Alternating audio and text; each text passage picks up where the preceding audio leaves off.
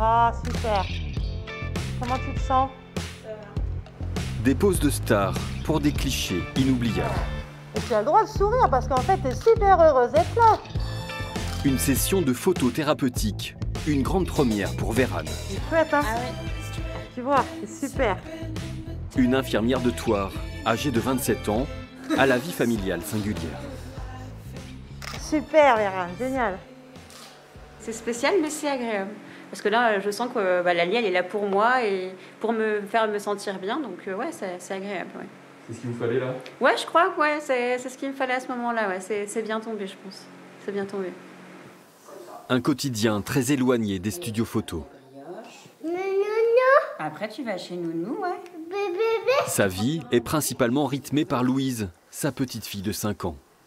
Atteinte de trisomie 17, une maladie génétique très rare, Louise a des troubles du comportement et de l'apprentissage. Quand on devient maman du- du- d'une petite fille exceptionnelle, en fait, c'est c'est 200% parce que euh, on veut continuer notre vie de, de- de- de femme avec le travail, les sorties, et à côté de ça, ben, on a une vie à 200% avec euh, une enfant qui demande des rendez-vous chaque jour, euh, qui demande une présence importante, qui demande des stimulations, et c'est vrai que c'est c'est une vie euh, à 200 000 à l'heure, quoi.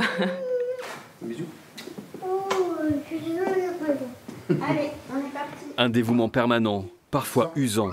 Alors ce matin-là, après avoir amené sa fille à l'école, Vérane a décidé de prendre soin d'elle, avec une session photo un peu particulière, des photos thérapeutiques.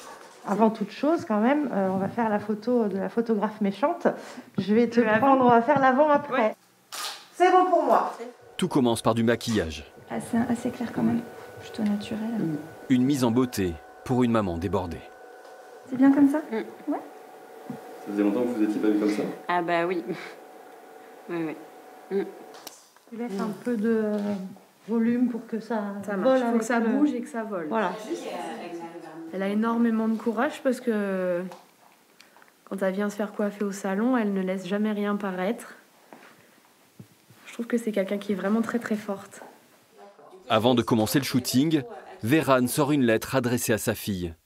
C'est la photographe qui lui a demandé de l'écrire. Tes troubles étaient tellement importants, je crois que je n'arrivais plus à prendre bien soin des autres, puisque personne, même moi, ne prenait soin de moi. Un moment clé de cette séance de femme. Ça change qu'elles enlèvent un poids quand elles- avant de faire les photos. Le poids est parti et euh, elles se disent bon bah en fait voilà j'ai réussi à dire ça, donc je peux continuer et on avance. Alors, on va commencer en douceur. Alors les clichés s'enchaînent. Une heure et demie de travail émotionnel. Objectif, se réconcilier avec soi-même. C'est parfait. À l'heure du visionnage, Vérane a bien du mal à cacher ses émotions.